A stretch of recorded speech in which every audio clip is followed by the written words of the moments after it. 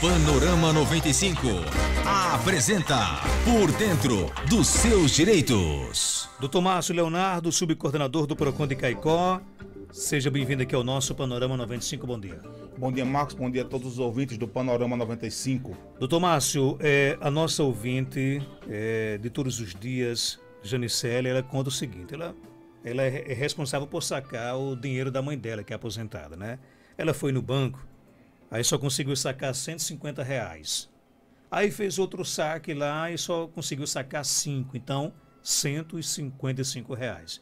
Tentou outras vezes, não conseguiu, inclusive o extrato lá é, é, confirmava de que ela só teria, só, só teria conseguido sacar 155 reais. Para surpresa dela, é, da, em outra vez, quando ela foi sacar, estava lá é, dizendo que a mesa já tinha sacado tudo, não tem mais nenhum real na conta bancária. Como é que pode isso? Olha, Marcos, nós somos ensinados desde pequenos que, que banco não erra. Quando você entra com a reclamação contra o banco, é, muitas vezes a gente recebe uma resposta, uma resposta com explicação pseudotécnica, né? É, é falsamente técnica. Não, porque acontece isso, isso não pode acontecer, babá. Mas o que eu aprendi nesses cinco anos de trabalho aqui no Procon é que o banco erra, erra muito, erra feio. Às vezes não é erro, às vezes é uma ação fraudulenta, às vezes é uma ação até criminosa. Já aconteceu isso aqui em Caicó, já foi divulgado em larga escala, em, em casos que, que aconteceram no passado, inclusive. Mas, enfim, é, se a ouvinte tentou fazer o saque, o, problema maior, o perigo maior que ela passava, era se naquele momento ali já dissesse que ela tinha sacado tudo. Mas o bom é que, segundo a pergunta, ela tem já um extrato onde atesta que ela sacou só é, realmente o que saiu do caixa. Porque isso pode acontecer. Às vezes o caixa não tem o fundo suficiente, não tem o valor que você está precisando sacar, e fica registrado que você sacou ali só uma parte, uma percentagem do que você realmente precisava e do que você queria sacar, do que tinha na sua conta. Essa situação em que a, o consumidor tenta fazer o saque de um certo valor, não consegue, é, o banco atesta que ele realmente só sacou aquele valor que, que saiu do dinheiro, ou seja, não, não houve, até não houve nenhum equívoco, e vem depois alegar que a pessoa sacou tudo, é uma questão de erro muito grave. Isso não pode acontecer, principalmente numa situação como essa. Olha, eu sempre digo, Marcos, numa situação de normalidade, o consumidor ele tem toda uma proteção legal, tem toda uma gama de proteção, um sistema protetivo.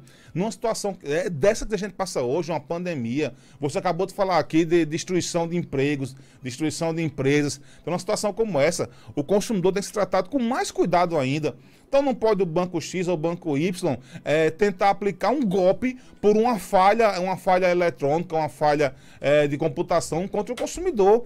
Poxa, antes de você dizer que a pessoa já, já sacou tudo, você tem a obrigação, no mínimo, de investigar as câmeras de segurança, é, olhar para ali você ter a comprovação do, de que o consumidor não sacou aquele valor.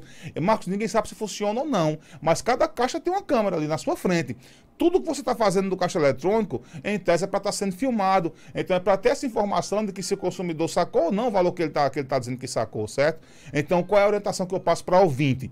É, nesse momento que ela já recebeu uma, uma, uma é, resposta negativa da instituição, dizendo que ela sacou um dinheiro que ela não sacou. E eu estou aqui dizendo: se uma pessoa se propõe a vir à rádio fazer uma pergunta, certamente se o PROCON tivesse funcionando normalmente, essa pessoa já teria pegado a fila do PROCON. Ela não está mentindo, Marcos. Ela não conseguiu sacar o valor e o banco realmente está fazendo uma afirmação falsa contra ela. Né? E isso é o que a gente aprende aqui. Eu digo e repito: embora mais das vezes a empresa tente imputar a pessoa do consumidor um mau caratismo, alguém que quer se dar bem, eu vejo aqui em cinco anos de serviço que isso não acontece é, quando a pessoa procura o PROCON, é porque realmente foi fraudado em seu direito. Muita gente é, recebe, a, suporta um problema de uma relação de consumo e faz tudo possível. Às vezes a lei dá um prazo de um mês, às vezes é um produto com vício.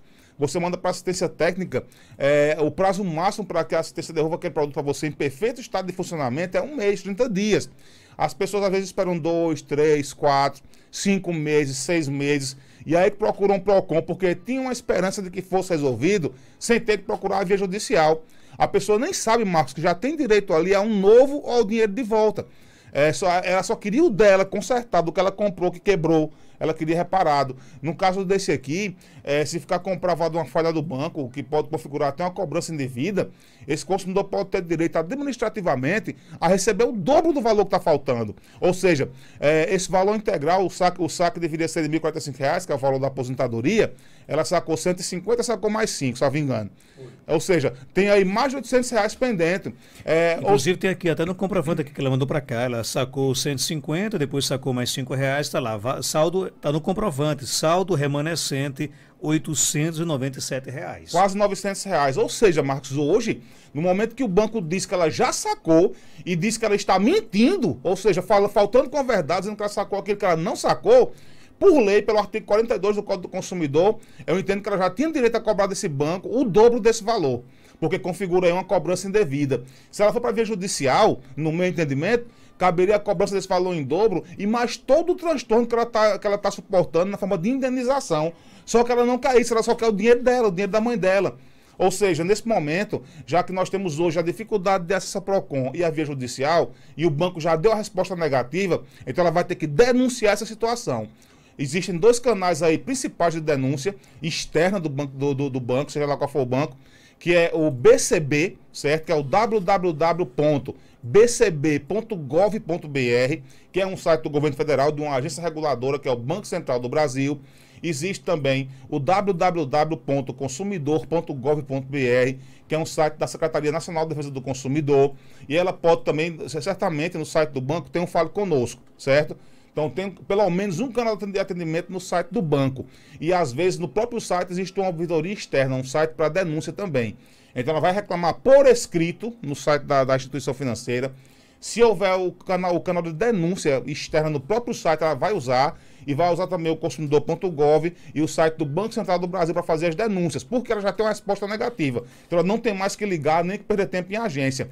E meu entendimento hoje, ainda que o banco libere hoje ou amanhã ou depois esses quase 900 reais, ela deve se preparar para procurar via judicial, porque numa situação como essa, você ter tolhido aí quase a integralidade do vencimento do mês, numa situação de pandemia, uma situação de, que, de, de perda de emprego, de desestruturação da sociedade, é muito mais grave grave do que se fosse dentro da normalidade. Na normalidade, ela já teria esses direitos reparatórios e hoje ela tem com mais força ainda. Ok, tem mais pergunta aqui chegando o vídeo conta o seguinte, que fez uma compra pela internet de um telefone celular, né? É, inclusive numa loja muito famosa. E o telefone chegou com problemas, né? Aí ele quer saber o seguinte: a quem ele recorre? Nesse caso, ele tem que mandar de volta para a loja que ele comprou, tem que recorrer a uma assistência técnica aqui em Caicó e ter esse, e ter esse reembolso, por exemplo. Que, de, como é que fica essa questão? Marcos, a, a, a, opção melhor, a mais correta nesse caso, se ele tiver dentro do prazo de sete dias do recebimento do produto, é entrar em contato com a loja e pedir de imediato o, o exercício do direito de arrependimento, certo? É, se ele vai solicitar um reparo é, um, uma troca de produto, isso vai se alongar no tempo. O direito de arrependimento ele é sagrado, certo? Ou seja, independe, inclusive, de ter uma motivação. Eu não quero mais esse produto e pronto. A loja vai perguntar: esse produto chegou para o senhor com algum defeito? E você pode dizer: não, chegou perfeito. É, o senhor, por acaso, não gostou do produto, não era o que o senhor esperava? Não, gostei, era o que eu esperava, mas eu não quero mais. Ou seja, o direito de arrependimento é estabelecido no artigo 49, salvo engano, do Código do Consumidor, e ele é sagrado, certo? Ele é sagrado. Então, esse consumidor, se tiver nesse prazo dos sete dias, que é contado do dia do recebimento em diante, ele pode entrar em contato com essa loja e, por escrito, preferencialmente por escrito, se for possível, se for obrigado a fazer por ligação, ele guarda os protocolos e vai exigir o exercício do direito de arrependimento. Olha, eu me arrependi, eu quero desistir dessa compra. Essa é a melhor maneira, porque a compra será cancelada. A loja é que vai dizer como ela faz para devolver esse produto, se o correio recolhe na casa dela, se ela bota de volta no correio e vai devolver esse dinheiro para a pessoa. Com o dinheiro devolvido, ela pode comprar um outro produto na mesma loja ou em outra loja. Quem sabe pega até uma promoção e compra um produto com preço melhor. Mas é, nada de assistência técnica nesse momento, nada de discutir esse vício do produto. Agora, se já, se já está extrapolado esse prazo de sete dias, ela vai entrar em contato com a loja, aí sim ela pode pedir o, o, a substituição do produto por outro novo imediatamente, Marcos. Porque uma coisa é você comprar um celular, pode ser na loja física, pode ser na loja virtual. Esse direito de arrependimento que eu falei só vale para compra virtual. O direito que eu vou falar agora serve para qualquer compra, certo? Uma coisa é você comprar um produto, ele funcionar por um certo período, pode ser mais longo ou mais curto de tempo. Digamos que ele tem uma garantia de um ano. Se ele funciona aí cinco dias, seis dias, até 11 meses e 29 dias, Marcos, você está cobertado por uma garantia. Todo vício que vem aparecendo naquele produto, ele vai ter que ser reparado, sanado, certo? Dentro de um prazo máximo de 30 dias. Se esse vício não for sanado, quem lhe vendeu, a loja, o fabricante, vai ter a obrigação de lhe repor um produto novo ou o dinheiro que você gastou, certo? Mas isso é quando aparece um vício posterior. O vício para ler é aquilo que a gente chama de defeito, certo? Agora, se você compra um produto que já vem com vício, ele já tem um defeito, na hora que você vai usar a primeira vez, você não consegue utilizar, o celular não liga, ou não tira foto, ou você vê que ele tem manchas na tela, ou ele não está carregando, é, ou, ou, o áudio é ruim, é, você não consegue falar nem ouvir direito, o fone de ouvido não prestou, embora seja um periférico. Então, se você compra um produto que ele já tem defeito de fábrica, ele tem que ser substituído imediatamente. Isso não é direito de arrependimento não é um direito de devolução do valor, é o direito de você receber um produto novo e aquele não ser reparado. Porque a lei não aceita que você compre um produto novo, zerado, e você seja obrigado a mandar para um, um, reparo, para uma oficina, para um conserto, para uma assistência técnica. Isso, você vai ter que suportar isso depois de um certo tempo de uso. Mas se ele já vem com defeito, com vício, é, e a loja não se propõe a troca imediata, ela vai se contaminar com esse problema na relação de consumo e, e para a lei será o mesmo que ela, que ela provar que está vendendo lixo, refugo, produto com defeito, vicioso, é, que, que, não, que não tem a, a normal finalidade que dele se espera. Ele não tem a utilibilidade, a usabilidade que dele se espera. Ou seja, é, se torna até um crime contra o consumidor, previsto no artigo 66 da lei. Ou seja, nesse caso aí, primeira coisa, é, tente, se você está dentro do prazo de sete dias, entre em contato com a loja e diga que você quer se arrepender daquela compra. Você se arrependeu da compra e você quer desistir daquela compra, certo? Se você passou desse prazo de sete dias, vai entrar em contato com a loja e deixar bem claro que o produto já veio com vício. Já veio com vício que você não aceita enviar para assistência técnica. Ainda que a loja insista, pode até você aceitar o envio só para que ela ateste o vício certo? Mas não vai ser, é, você não vai ser obrigado a aceitar aquele voto reparado. Manda para assistência técnica. Ela provou que tem um vício de verdade, já lhe manda um produto novo, certo? É tudo uma questão de prova, mas se tiver dentro do prazo de sete dias, se estiver nesse prazo, exija o direito de arrependimento. Nosso ouvinte Desineide Medeiros, está lá em Tenente Laurentino Cruz, é, pergunta o seguinte: gostaria de saber é, o que é está acontecendo com minha mãe. Ela fez um consignado no banco para comprar um colchão terapêutico. No início era 170 reais, mas agora já está 250 reais no caso a parcela, né? E, e, porém o consignado era no valor fixo. Ou seja, o que fazer nesse caso? Olha, Marcos, é, uma série de contratos de compra de produto com valores flutuantes existem no mercado, eles não são ilegais, certo? O ilegal é você não saber em que tipo de contrato você está se metendo. Né? Digamos que nesse contrato que ela assinou esteja previsto realmente que essa parcela é flutuante. Aí você vai ter uma afronta grave ao direito de informação do consumidor. Porque se a ouvinte ela tinha certeza que ele era parcela fixa, é porque isso foi dito a ela, certo? Foi dito a ela. A gente fala muito em assinar ou não assinar contrato. Isso é um contrato bancário, um financiamento, né? um consignado para comprar um produto. É, é um contrato bancário. É, muita gente fala, não, que o, é, a gente tem o direito de ler, eu não li o contrato, não sei o que e tal. Na verdade, Marcos, o consumidor, ele não é, por lei, obrigado a ler aquele contrato de bula de remédio de, de, de, de, de cima a baixo, não, certo? A lei fala que no contrato desse, você previamente tem que receber orientações, informações claras, precisas e pormenorizadas. Isso aí extrapola a leitura do contrato. Porque muitas vezes eu leio um contrato desse aí e eu não sei o que está escrito. Eu trabalho cinco anos com isso, eu que tenho 17 anos de, de, de advocacia, né? É, leio um contrato desse não sei, eu tenho que procurar pela internet, procurar um dicionário, às vezes um dicionário técnico, para saber o que está redigido naquele contrato. Imagina um cidadão comum, que não é afeta esse serviço bancário, que não afeta a, a direito financeiro, finanças, que não é afeta a, esse tipo de informação. Ou seja, você tem o direito de ler o contrato, que muitas vezes as, as instituições só negam que você faça isso, mas ainda que você possa ler calmamente, senão isso aí não vai cumprir o que ela determina. Porque a informação tem que ser clara, precisa e pormenorizada, ou seja, o consumidor tem que receber de forma verbal a informação daquele, de tudo aquilo que ele está se metendo naquela contratação. Inclusive, principalmente as cláusulas que restringam direitos ou gerem obrigações. Ou seja, era para que essa cláusula aí, para que esse valor aumente, era obrigatório que o consumidor lá atrás, antes de assinar o contrato, soubesse, olha, vai começar com cento e pouco, aí passa para duzentos e pouco, passa para trezentos e tanto, baixa para não sei quanto certo? O que é que não é obrigado estar escrito com destaque no contrato? É você começar com uma parcela de 200 e depois, e depois saber que ela vai passar para 150, para 120. Quando a parcela regressiva, por lei, ela pode estar, tá, ela tem que estar tá redigida, mas ela pode estar tá redigida com a mesma letra, com a mesma fonte das outras cláusulas do contrato, com o mesmo tipo de, de, impressão. Se é o contrário, se a parcela aumenta de valor, a lei diz que isso tem que estar redigido com destaque. Em, é, tem que estar grifado, tem que estar uma letra maior, tem que ter uma, tem que ter uma, uma impressão é, que você veja ela com destaque quando você olha o contrato. Ou seja, a lei, Marcos, ela é muito boa. É, nosso Código do Consumidor é uma, uma, lei nascida aqui no Brasil, que no Brasil, ela foi exportada para vários países do mundo. É, nosso, nosso Código do Consumidor, ele é usado hoje por vários países, inclusive na Europa, sem mudar nem a vírgula, foi apenas traduzido, porque ele se acoplou perfeitamente ao, dire ao direito de outros países aí, é, em tese, oitamente mais evoluídos, países do primeiro mundo, inclusive.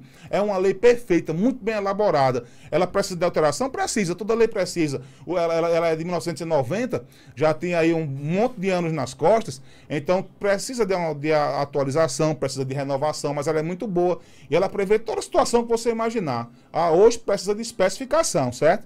Mas, enfim, ela, ela tem atrás todo o tipo de, prote de proteção que você possa é, que você possa imaginar. Inclusive para esse caso aí é, é, da pergunta.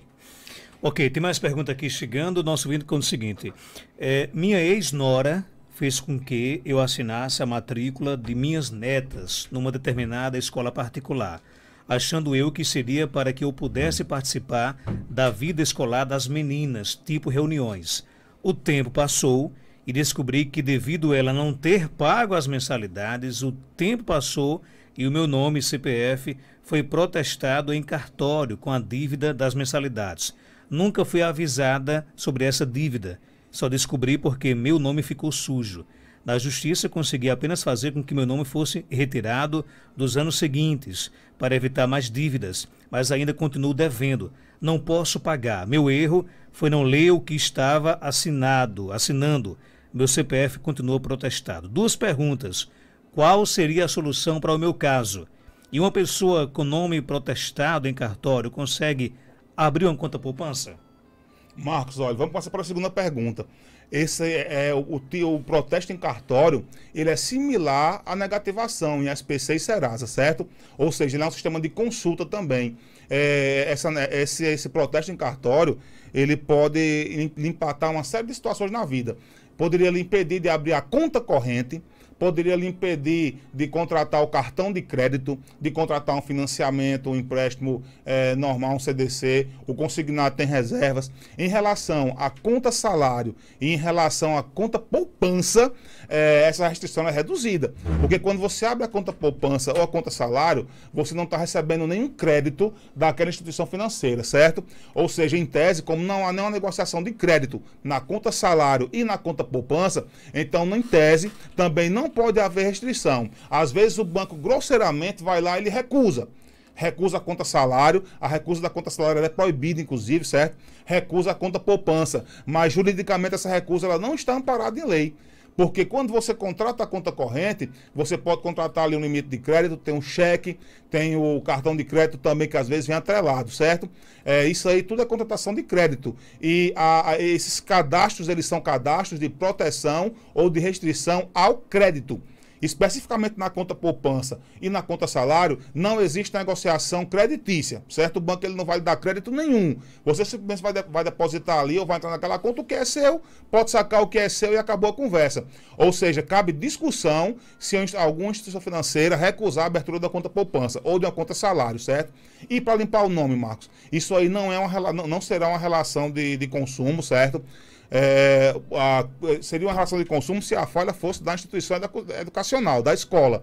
Nesse caso aí foi uma questão de direito civil, é, poderia caber hoje até uma ação de obrigação de fazer, onde via judicial essa, essa ouvinte ia tentar a assunção da dívida por essa pessoa, essa parente dela, que fez ela assinar esse contrato. Com, essa, com esse, essa, essa ação civil entre uma parte e outra, ela pode tentar que essa pessoa assuma a dívida, ou inclusive que repare, que indenize ela do valor dessa dívida e ela possa pagar posteriormente, sem que esse dinheiro saia do bolso dela, certo? Cabendo, inclusive, até uma reparação moral. Mas é uma ação que não é direito do consumidor, seria uma ação pessoal. Dependendo do valor dessa dívida, se for uma ação de pequeno valor, Marcos, que, por exemplo, é, não compensa a contratação de um advogado, essa ouvinte, essa ouvinte ela pode, inclusive, mover a ação sozinha através do juizado especial aqui da cidade de Caicó. Vai ter que ter uma série de requisitos, uma série de informações, mas ela pode manter contato e até procurar, quando normalizar a situação da pandemia, é, o juizado especial para manejar uma ação contra essa parente ou ex-parente, para justamente justificar, é, é para discutir a questão dessa dívida, onde pode concluir até com indenização, que seria o valor necessário, para o pagamento da dívida, certo? Marcos, em relação a outra pergunta é, é do, do, do, do, do, do colchão que aumentou ou baixou o preço, era muito importante que essa pessoa entrasse em contato para descobrir que empresa é essa, que banco é essa, que banco é esse. Eu vou deixar aqui o e-mail, onde essa pessoa pessoa pode, inclusive, passar fotos desse contrato para mim, que é uma situação que eu preciso saber que é a instituição. Era muito importante que eu tivesse a leitura desse contrato, que fique bem claro. Ainda que no contrato estivesse prevista essa, essa alteração de valor que ela denunciou na pergunta, se ela não tem essa informação, esse aumento de valor ele não é legal, certo? Ele não está dentro da legalidade. Então vou deixar aqui o e-mail que é o ml.d@bol.com.br ml.d bol.com.br. Tira uma foto desse contrato, é, mande para mim com seus dados pessoais por esse e-mail, que a gente vai manter contato e saber o que, é que pode ser feito, mesmo com o PROCON estando fechado aqui na cidade de Caicó. Ok, doutor Márcio, obrigado pela sua participação. Até terça-feira, se Deus quiser. Como sempre, Marcos, eu que agradeço né, pelas perguntas de todos. É, que fica esse e-mail aí para tirar dúvidas, ele está sendo muito utilizado, eu repito aqui. Às vezes você está mandando uma pergunta, entrando em contato e está tá acontecendo uma coisa que não acontecia. Está demorando aí três, quatro dias para ter uma resposta, porque realmente não está dando tempo. Está vindo, ele está sendo muito procurado, tem muita pergunta, muita denúncia, e eu estou respondendo todas, uma por uma. E a resposta não é sim ou não. Às vezes é necessário que eu faça um estudo, analise os documentos que estão sendo enviados. Então isso aí está demorando um pouquinho mais de tempo. Eu estou fazendo só isso na minha vida, meu amigo. Estou fazendo só isso e nada mais. Estou fazendo esse, serviço de noite, mas ainda assim está demorando, porque tem uma busca muito grande pelo e-mail. Mas faça, manda pergunta e vai, todas serão respondidas.